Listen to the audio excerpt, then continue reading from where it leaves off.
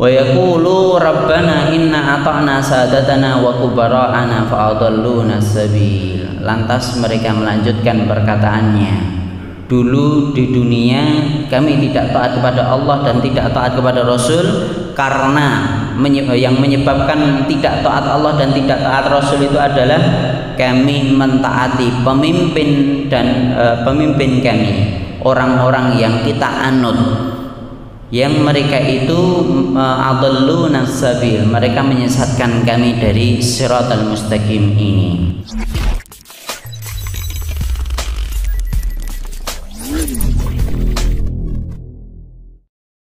Bismillahirrahmanirrahim. Assalamualaikum warahmatullahi wabarakatuh.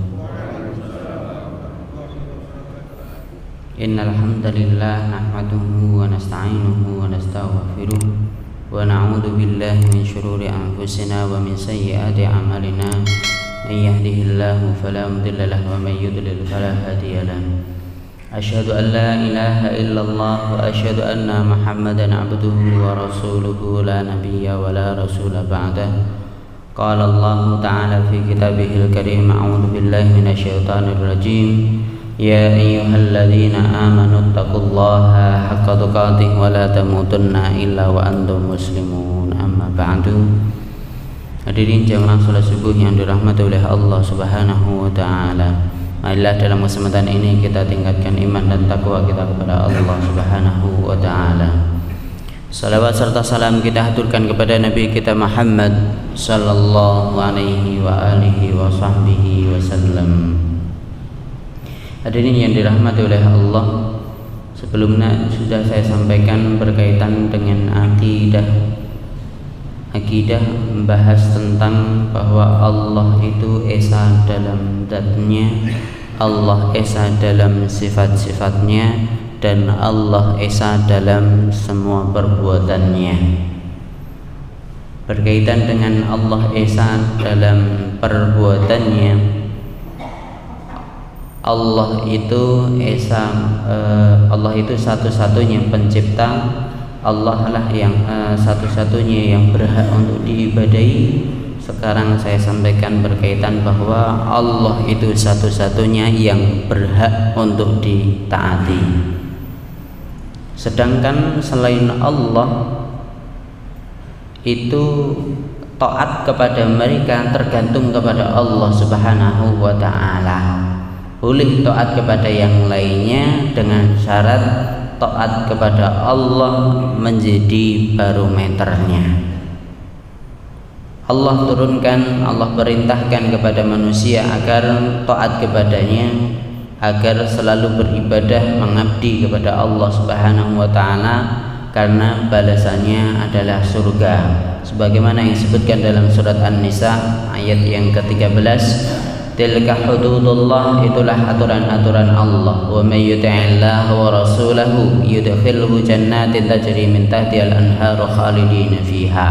Wa dzalikal fawzul 'adzim. Barang siapa yang taat kepada Allah dan rasulnya pasti Allah akan memasukkan dia ke dalam surga yang mengalir di bawahnya sungai-sungai sungai-sungai yang mereka kekal di dalam surga tersebut. Wadzalikal fawzul azim itulah keutamaan yang nyata. Itulah kebahagiaan yang sebenarnya. Jadi balasan untuk orang yang taat kepada Allah jelas surganya Allah Subhanahu wa taala dan kekal di dalamnya Adapun sebaliknya bila mana ada orang yang tidak mau taat kepada Allah balasannya adalah neraka sebagaimana ayat yang selanjutnya dari surat An-Nisa juga disebutkan wa may ya'sillaha wa rasulahu barang siapa yang maksiati Allah dan rasulnya maksudnya tidak mau taat. Wa yata'adda hududahu bahkan melanggar had-hadnya aturan-aturan Allah yudkhilhu naran khalidan fiha. Pasti Allah akan masukkan ke dalam neraka yang mereka akan kekal di dalamnya. Walahu adabun muhin dan bagi mereka adab yang pedih. Na'udzubillah min syarri dalik Tinggal kita pilih jadi orang yang taat kepada Allah atau malah memaksiatinya kalau kita taat kepada Allah akan masuk ke dalam surganya. Adapun bila mana kita maksiati Allah naudzubillah tsumma naudzubillah maka tempat kembalinya adalah neraka jahanam naudzubillah min syarri dzalik intinya uh, dari ayat-ayat tersebut sudah jelas semua. Kita sudah tahu bahwa balasan untuk orang taat surga untuk orang yang maksiat itu adalah nerakanya Allah Selain itu, selain itu e, berkaitan dengan taat, berkaitan dengan taat kepada Allah, kepada Rasulullah, ayatnya jelas. Adapun taat kepada manusia yang lain selain Rasulullah Sallallahu Alaihi Wasallam itu ada syaratnya. Sebagaimana yang disebutkan dalam surat An-Nisa juga pada ayat 59. Ya ayyuhalladzina amanu wahai orang-orang yang beriman. Allah wa atiur rasul. Taatilah Allah dan taatilah rasul. Wa ulil amri minkum dan pemimpin kalian. Sering saya sampaikan berkaitan dengan ini bahwa bila mana kita uh, taat kepada Allah itu ada perintahnya secara mutlak. Ada kata ati Allah Begitu pula taat kepada Rasul itu juga taatnya secara mutlak, enggak butuh e, penafsiran, enggak butuh e, tidak ada perselisihan di sana bahwa taat kepada Allah dan Rasulnya itu secara mutlak. Semua perintah Allah jalankan, semua larangan Allah kita tinggalkan. Begitu pula yang terjadi pada taat kepada Rasulullah Shallallahu Alaihi Wasallam juga sama. Di sana ada ada kata atiu perintah untuk mentaati kepada Rasulullah SAW perintah Rasulullah jalankan larangan Rasulullah kita tinggalkan. Beda bila mana membahas tentang taat kepada ulil amri taat kepada pemimpin itu dengan syarat bila mana pemimpin tersebut kita mentaatinya itu sesuai dengan perintah Allah kalau tidak sesuai dengan perintah Allah maka kita tidak boleh taat kepada Allah eh, kepada ulil amri kepada pemimpin yang ada pada diri kita. Uh, selain itu dari ayat ini kita tahu bahwa ulil amri itu harus jelas. Maksudnya jelas itu bagaimana? Harus membahas tentang keimanan kepada eh, membahas tentang Eh, pemimpin tersebut memimpin orang yang beriman dan untuk orang beriman. Tidak semua pemimpin itu harus kita taati. Jadi pemimpin yang harus kita taati itu adalah pemimpin yang beriman kepada Allah, pemimpin yang memimpin orang-orang yang beriman dan peruntukannya jadi dijadikan pemimpin itu untuk orang beriman, manfaatnya untuk orang beriman. Bila mana pemimpin yang tidak seperti itu maka harus di uh, dipilih dulu mana yang boleh kita jalankan, mana yang tidak boleh kita jalankan. Bila mana perintahnya sesuai dengan perintah Allah maka kita jalankan. Tapi bila mana perintahnya atau larangannya itu tidak sesuai yang diajarkan oleh Rasulullah SAW maka itu harus kita tinggalkan. Jadi seperti itulah uh, yang seharusnya kita perhatikan. Dan yang uh, terakhir, yang terakhir, kenapa kok kita harus pilih-pilih uh, untuk menaati pemimpin atau kata lain dari Al-Qur'an itu adalah ulil amri? Karena disebutkan dalam surat Al-Ahzab ayat 66 sampai 68 bahwa balasan untuk orang yang taat kepada pemimpin yang menyalahi aturan Allah itu adalah neraka jahanam yauma tuqallabu wujuhum finnar. Di hari di mana manusia eh, di mana orang-orang uh, orang-orang kafir itu dibolak-balikkan wajahnya di neraka.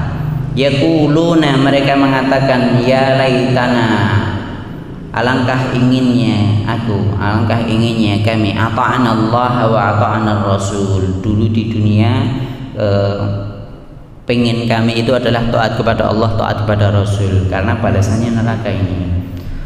Wa yaqulu rabbana inna ata'na sadatana wa kubara'ana fa'adalluna sabil. Lantas mereka melanjutkan perkataannya dulu di dunia kami tidak taat kepada Allah dan tidak taat kepada Rasul karena yang menyebabkan tidak taat Allah dan tidak taat Rasul itu adalah kami mentaati pemimpin dan e, pemimpin kami orang-orang yang kita anut.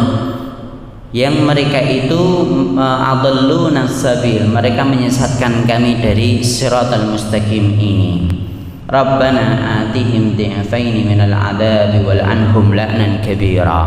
Bahkan karena karena mereka diadab dengan sebab mereka mentaati pemimpin yang salah maka rakyatnya pun nanti di akhirat minta dilipat gandakan dosa eh, dilipat gandakan azab untuk pemimpin-pemimpin yang seperti ini Na'udzubillah thumma na'udzubillah. Intinya kembali lagi dengan ayat-ayat uh, dengan ayat ini dari surat Al-Ahzab uh, seharusnya kita berpikir jangan sampai kita salah milih pemimpin. Jangan sampai kita salah mentaati orang. Jangan salah kita uh, jangan sampai kita salah uh, menjalankan perintah Allah Subhanahu wa taala. Taat kepada pemimpin itu harus bila mana taat kepada pemimpin itu tidak menyalahi perintah Allah, diizinkan oleh Allah untuk mentaati pemimpin itu, maka kita jalankan. Bila mana tidak, maka kita tidak boleh mentaati pemimpin. Pernah suatu kali saya ditanyakan berkaitan dengan bagaimana bila ada pemimpin yang menghalangi dakwah Islamiyah berarti kita harus tinggalkan pemimpin tersebut. Meskipun ada perintah untuk menaati pemimpin iya. Tapi bila mana pemimpin itu menghalangi dakwah Islamiyah dakwah uh, amar ma'ruf nahi mungkar maka kita harus singkirkan pemimpin-pemimpin yang seperti ini. Kita harus mengikuti siapa pun yang sesuai dengan Al-Quran, sesuai dengan Al-Hadis, sesuai uh, dengan aturan-aturan yang dikehendaki oleh Allah, sesuai dengan perintah Allah dan menjauhi larangan Allah Subhanahu wa taala. Mungkin ini yang bisa saya sampaikan. Wa aqulu qawli hadza wa astaghfirullah li wa lakum walhamdulillahirabbil alamin. Wassalamualaikum warahmatullahi wabarakatuh.